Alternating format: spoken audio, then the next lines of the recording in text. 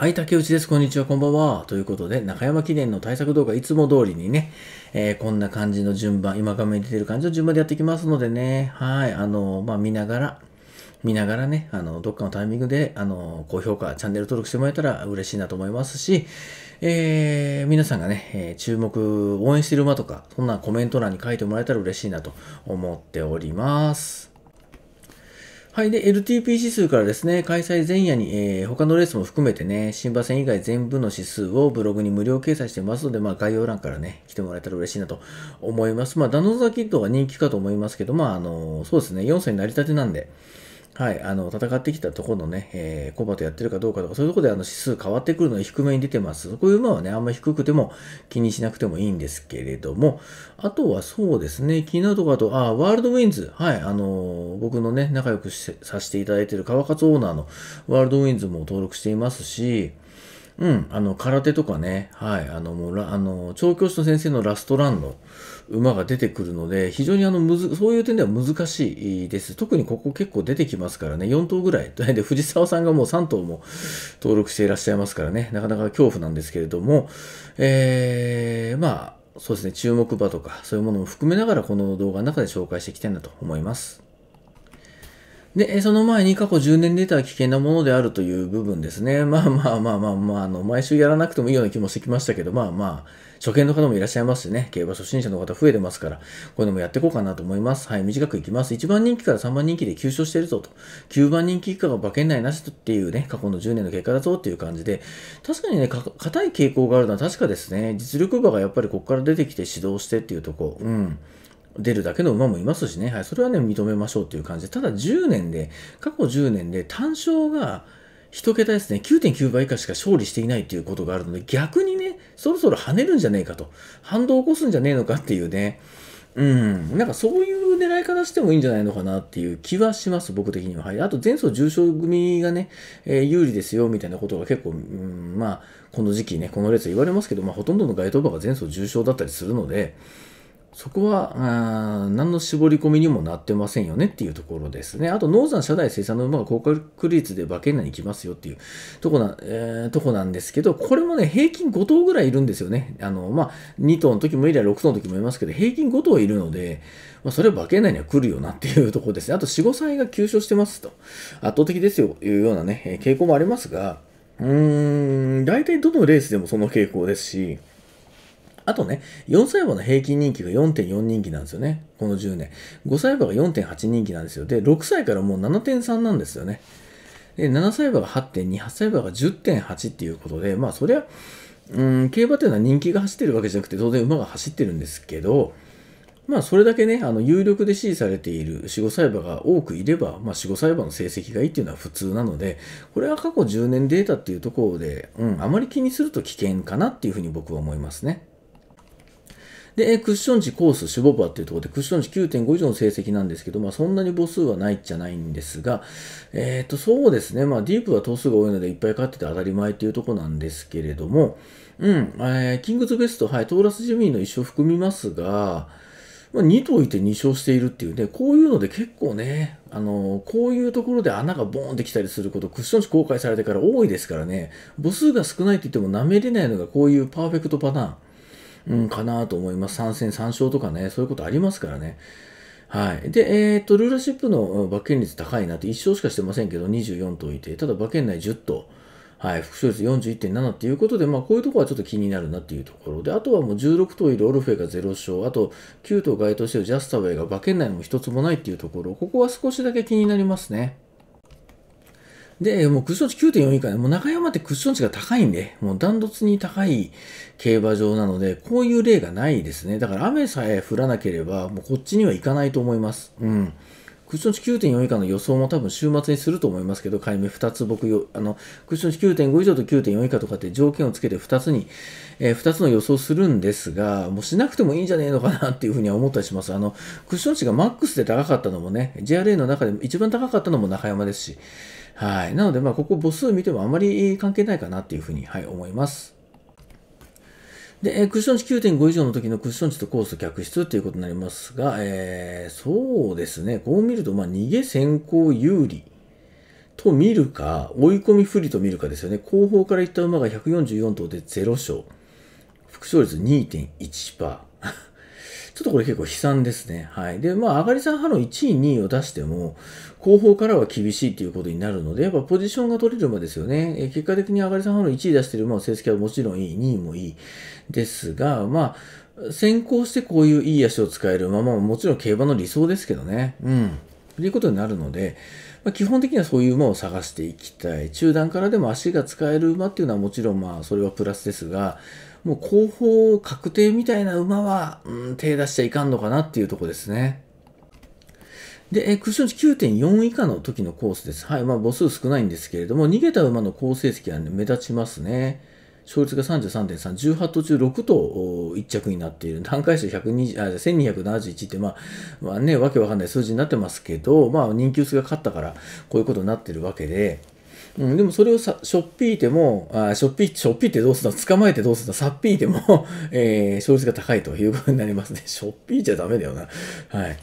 あまあ、逃げたからね、逃げたやつをしょっぴくみたいなことが言いたかったのか、頭の中でそういう風になっちゃったのか分かりませんが、はい。で、えー、あがりさんハロン、うん。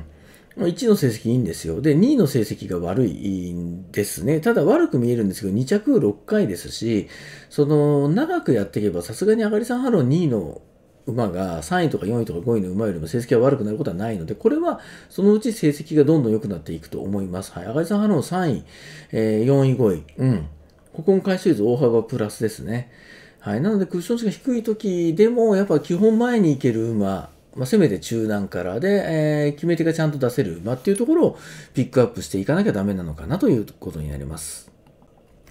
で、えー、ダノンザキットなんですけど、ちょっとすいません。さっきのショッピータって、ショッピータとサッピーテをね、間違えたのが、ちょっと、あの、かなりなんかショックで 尾を引いてるんですけど、えー、ダノンザキット、はい、ホープフルステークスの勝ち馬ということで、うん、なんか忘れてましたね。ホープフルステークスの勝ち馬ということ。はい。で、マイルチャンピオンシップ3着っていうこと、まあ実績を引っ提げてね、4歳になって、えー、ここから動き出すっていう感じなんですけど、まあデビューから3連勝してから、それ以降はもしかしたらね、全然、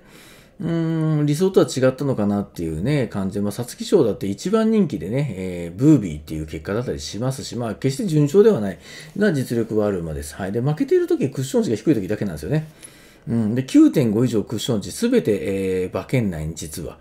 来ているんですよね。だから、皐月賞で大敗した時と富士ステークスだけがクッション値が低かったということになります。ただ、このコースに限ってはクッション値9.5以上ですね。で、現状、あの、さっきも紹介しましたジャストウェイ参加が全敗中っていうこともあるので、そうなんですね。しかもこの前が有利っていう傾向がある中で、うーん、ダノザキットの金層ね、差しの競馬をしてきている。っていうところですよね。で、クッション値が低いっていうのが苦手説がね、今出てきましたけど、そうなってくると、うーん、どっちに転んでも中山記念って、中山記念というかですね、中山の芝の1800メートルって、この馬にとってはもしかしたら一番向かないのかなって、2000ではね、あの、結果残してますけど、もしかしたら一番ダメなんじゃないのかなっていう、そんなね、予感はありますね。馬券買いづらいなって、しかも人気も背負ったらね、切った方が面白いなと思いますね。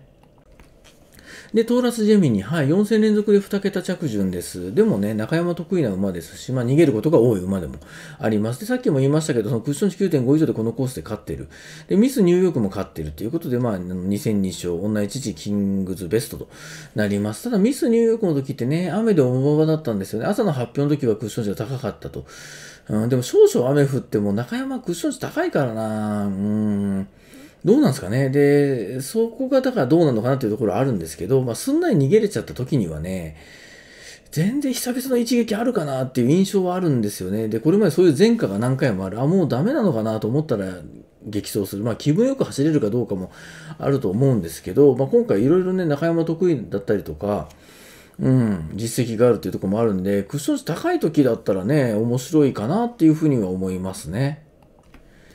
で、えー、空手。はい、えー、差し馬の印象がね、つきましたね。なんか空手って聞くとなんか差し馬だなって一瞬思っちゃうんですけど、でも去年のこの時期なんかバリバリ先行してますからね。はい、ポジション取りに行ってる馬だったんで、全然違いましたし、うん、別にどっちも今でもいけるだなと思います。はい。前々からの競馬でも足が使えるし、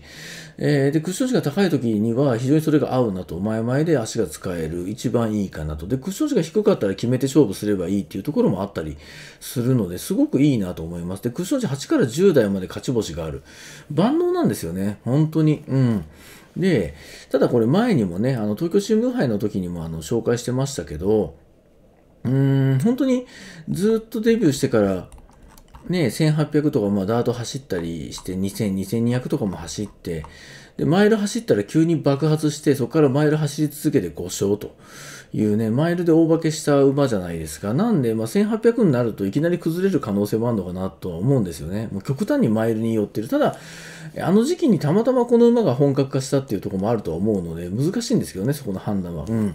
で、えっと、まあ、この空手は高橋調教師が引退されます。で、もう最後勝ってね、引退したいっていう、しかも結構それに近い馬だと思うんですよ。で、抜群のね、仕上げで来ることは間違いないかなと思います。で、あの、引退調教師のね、特集動画っていうのも、あの、勝負調教の特集動画っていうのも2本前にアップしておりますが、まあ、それに該当してきたらまた面白いなと思うんですよね。で、空手って結構あの、そうですね。マイルにく、マイルに来てからかな。その前も速い時計出してるんですけど、反路で。もう完璧にマイルで走り始めてからは、53秒台、52秒台、えー、速い時はもう50、50.7秒とか、っていう時計を出してきてます。はい。で、反路でいい時計バシッと出して、ここにバシッと挑んでこればね、全然面白いかなって思うんですよね。うん。まあ、東京新聞杯組がどうかとは言われるとは思うんですけど、あんまりこの前とっちゃ関係ないから、単純にもう本当にマイルしか走れないっていう、なんかね、あの、縛りゲームみたいなのやってるわけ、やってるような馬だったらダメですけど、まともに走ってくれれば、どういう状況でも万能に対応できるのが、一番、うん、そうですね、この登録版の中では空手かなっていうふうに思います。アドマイハダル、はい。まあ、日本ダビーってね、あの、出遅れてから大まくり仕掛けて、大まくり仕掛けていって他の馬と接触して終わったっていうね、あの、なんか、自爆したみたいな、そんなようなね、感じでした。なんか、こういうゲームのキャラいるよな、みたいな感じだったんですけど、そこを省くとね、そこを除くと、あの、連勝した時ってクッション値が10超えてるんですよ。両方ね。で、えー、クッション値が低い時に負けているっていう結果。まあ、これがあの、アドマエ・ハダルがこれまでに出してきた結果ですね。で、クッション値が高い時に勝っているっていう、まあ、エリカ賞であったり、若葉ステークス。これ、阪神だったんですけど、クッション値が10.1、10.4。かなりね、高い。えー、時だったんですよね。うん、で、クッション値が10を超える確率、割合って中山競馬場は他の競馬場より高いので、それだったらね、前進の可能性あるかなと、クッション値10以上の馬場で先行して押し切るっていう、この馬が、あの、一番目立ってたね、皐月賞に向かうまでに目立ってた競馬の形っていうのが、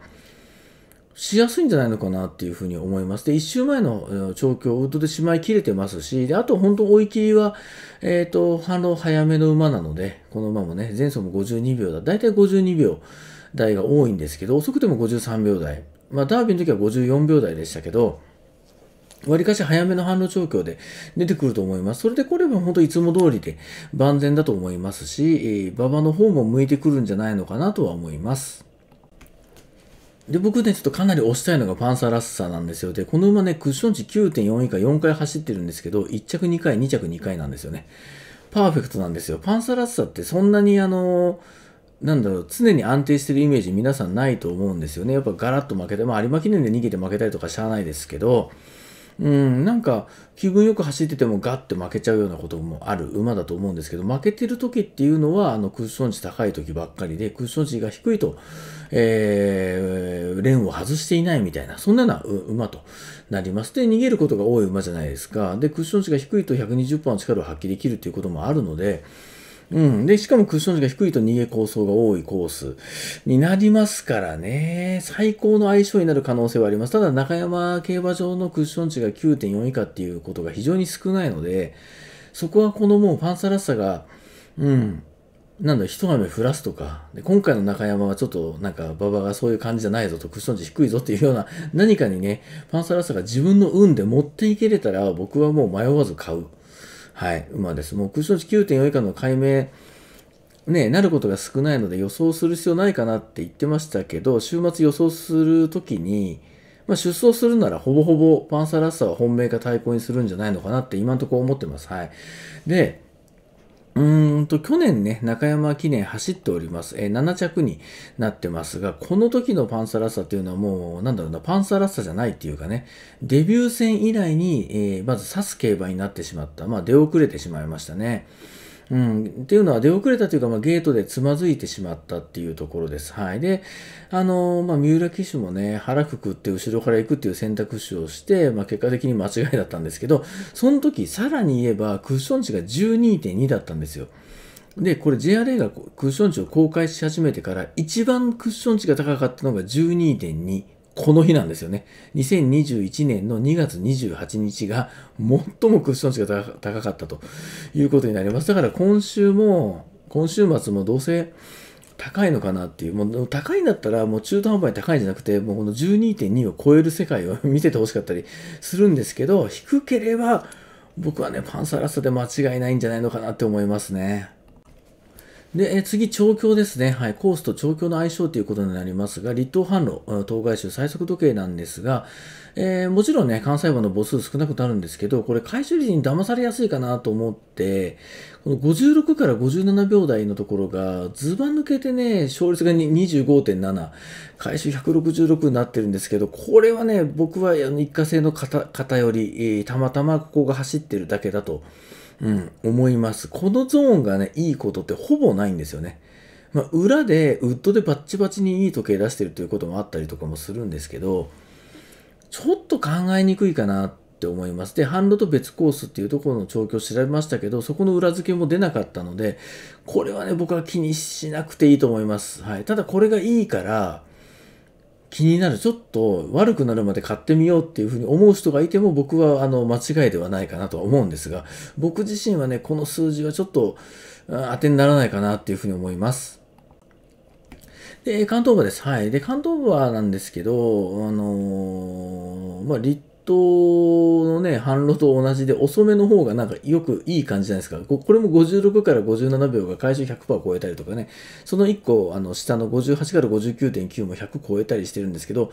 これはね、あの、単純にあの、ウッドで併用しているところがいい。っていうか、あの、ウッドで調教して、ウッドで追い切りして、その週に、えこの時計も出してますよっていう馬の成績がいい。そこっちに引っ張られてる感じなので、反路よりもウッド見てほしいなっていう感じですね。そのウッドの前に反論のラップの話なんですけど、まあ、リットの下の方ですね。はい、あのー、見てもらうと成績いいですよね。単価数90、98、104とか並んでます。はい。ただ、これ先ほどのね、遅めが偏って勝っていることが多い、あのー、です。あのゾーンですね。56秒から57秒台。まあ、勝ってるというところがあるんですけど、でもそこに共通して言えるのが、あのー、加速ラップですよね、やっぱり。うん。えっ、ー、と、立東加速の下から2つ目ですね。1ハロン12秒台。ここの勝率が16.3もあります。回収も高い。で、えー、12秒、えー、っと、立東加速の2波論、1波論12秒台のところ。これも勝率が12.2%、単回数90%っていうことで、ここは高いですよね。その間に挟まれてるとこは、えー、単回数98ありますけど、勝率がもう半分ぐらい、6.7%しかない。半分ですね。半分、えっ、と、1波論、2波論12秒台からすれば半分ぐらいだし。うん、普通の立冬加速下の1波の12秒台からすれば10%ぐらい低いので、この回収が高いのは穴が来ているだけ、穴が勝っただけなので、あんまり気にしなくていいんですけど、なんでやっぱ離島の、離島の反論の参考にするなら加速ラップかどうかっていうところ、そこだけですね。うん。むしろ逆に言えば全体時計はあんまり気にしなくくて、えー、先ほどのね、56秒、57秒に固執せずに全体的に見て加速しているところがいいんじゃないのかなっていうところで、1頭しかいませんけど、やっぱあの、立冬加速で姉妹11秒台出してる馬、1頭中1頭勝ってますから、やっぱ加速ラップはありかなっていうふうに思います。で、え次に、えー、リットとウッドですね。はい、追い切りの姉妹1ハロンということになります。まあ、母数少ないんですけど、姉妹11秒台、えー、そうですね、勝率13.0、副勝率34.8。まあ、これはプラスとして見てもいいんじゃないかなっていうふうには当然、えー、まあ、僕的には思うとこですね。うん。まあ、ダノンザキットのね、安田調教師なんかは姉妹11秒台の成績が、ウッドのね、えー、いい、えー、調教師さんでもあります。まあ、ダノンザキットも非常に、そのケースが多くて、ホープフルの時も11.9ですしね、弥生賞も11.7。たただ、それ以降もね、あの、11秒台なんですけど負けてるんですよね。ただマイルチャンピオンシップの時のウッド姉妹11.4秒ってこの馬にとっては一番速いので、それで3着になったっていうところはね、やっぱ引っかかるところで、で、ダノンザキット1周前にね、あの、ウッドで、あの、姉妹10点とはいえ、ラスト1ハロン11.0ジャスト出してるんですよ。この、これなんかちょっと怖いな、ギア上がってきたなって、追い切りでどんぐらいもう一発姉妹の時計出してくるかっていうとこが気になりますよね。うん、11秒台前半だったら、さっき嫌うって言いましたけど、ちょっとそこで嫌えない要因が一つ出てきてしまうかなって、あとクッション値によって切ったりもできますけど、ちょっとね、そこはあの気にして追い切り見た方がいいかなと思いますし、まあ追い切りに関しては TikTok でね、またアップしますので、はい、ぜひそっちも見てもらえたらなと思います。で、えー、美穂のウッド、追い切りの姉妹1ハロンの部分なんですけど、姉妹11秒台がこれダントツで狙い目かなと。うん。えー、勝率的にはね、そんなにゾーン、あの、11秒台、12秒台、13秒台で大きく違いませんけど、まあ11.1%ありますし、えー、副勝率で言ったらかなり高いですよね。37.0%あります。まあ馬券の中にはそうですね、必ず入れておきたいかなっていうところもありますし、人気薄だったらなおさらかなというところです。で、ガロアクリーク、はい、あの、まあ、美穂のウッドなので、えー、そうですね、ガロアクリーク、はい。で、上原調教師も、ウッドで姉妹11秒台の成績が良い調教師調教師の先生となります。で、ガロアクリーク、今回ね、登録していますけれども、ガロアクリークが、えー、姉妹11秒台っていうので出てきているのが、まずスプリングステークスですね。はい。えー、で、これ、えー、まくり気味に行って1着になってます。はい。で、そこから勢いに乗って皐月賞3着でしたけど、この時も11.9秒。うん、でしたね。で、そこからダービーが12.2、セントラ的には3着でしたが12.7、えー、菊花賞9着12.9、ディセンバーステークス12.4、3着。で、えー、前走エプソムカップ12.9、うん。で、えー、12着と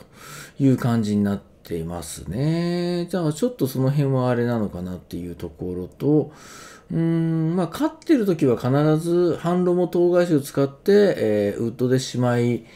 ちゃんと走らせてるかなっていうような馬なので、で、今回久々になりますからね、エプソムカップ以来です。えー、37週ぶりの出走になりますからね、その辺どう来るかなっていうところです。1周前は姉妹11.5秒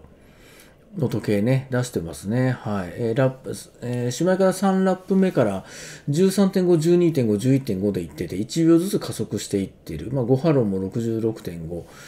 追い切りもう一本ビチッとやってきた時に、どれぐらいもっと時計出してくるかなっていうところは、ちょっと気になりますけど、うん、走れるコンディションで来るかもしれないなと思います。なので、この、えー、ガルアクリークの追い切りはね、ぜひあの、ウッドで来るなら、しまいの最後のね、1春の時計っていうのをちゃんとチェックしてほしいなと思います。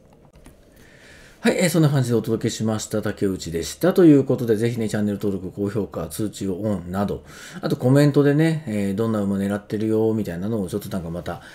書いてもらえたりしたら嬉しいなと思います。はい、えー、なかなかね、あの、ちょっと内容がね、普通のあの、レースの対策とちょっとうちは違うので、はい、コメントいずれ入れづらいようなところがあるかもしれませんし、ほとんどコメントつかないですけどね。つかないんですよね、コメントがね、不思議なことにね。うん。まあ、あの、でもいいです。あの、大体コメントくれなくても、あの、メールくださったりね、そういう方が多いので、はい、えー、距離感がね、また他のチャンネルと違うところもあったりしますけれども、まあ、ぜひコメントも書いてもらえたら嬉しいなと思いますし、まあ、ブログの方もね、毎週無料で指数アップしていますから、うん、あの、アクセスしてもらえたらなと思います。はい、大きい情報を TikTok で配信してます。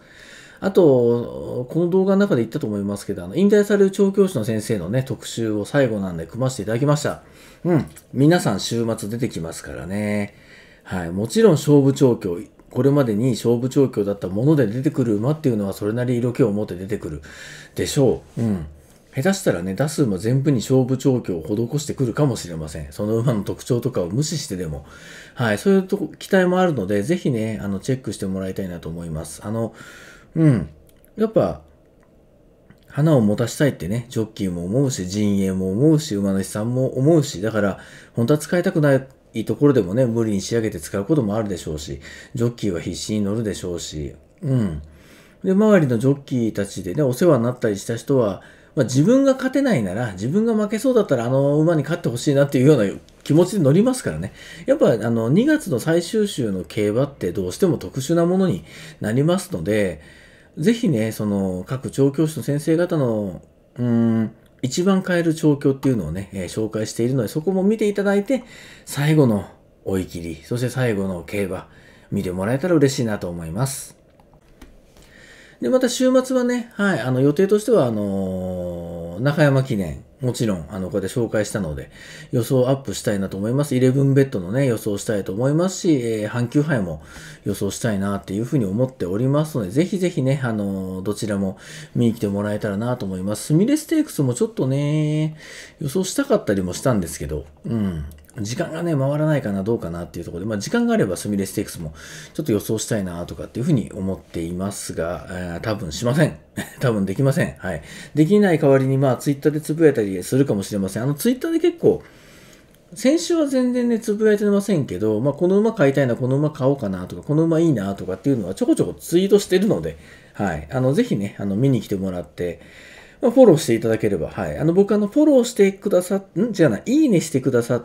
て、で、その人がフォローしてたらフォロー返しますっていうルールを決めているので、はい、あのー、ちょっとね、仲良くしたいので皆さんと、ぜひそういうふうに、あのー、ちょっとツンツンと、いいねしてもらえたら嬉しいな、フォローしてもらえたら嬉しいなと思っております。ということでね、えー、今週も、そうですね、気合を入れていきたいなと思ってます。もう一本もしかしたらちょっとあの馬券ネタ系の動画アップできたらするかもしれません。もうあの原稿はできてるんですけれども、えー、そうですね、時間があれば今週、はい、遅くても来週にはアップするんじゃないかなと思います。はい、結構使えるネタです。はい、えー、アップするのでぜひそれも見に来てください。竹内でした。さよなら。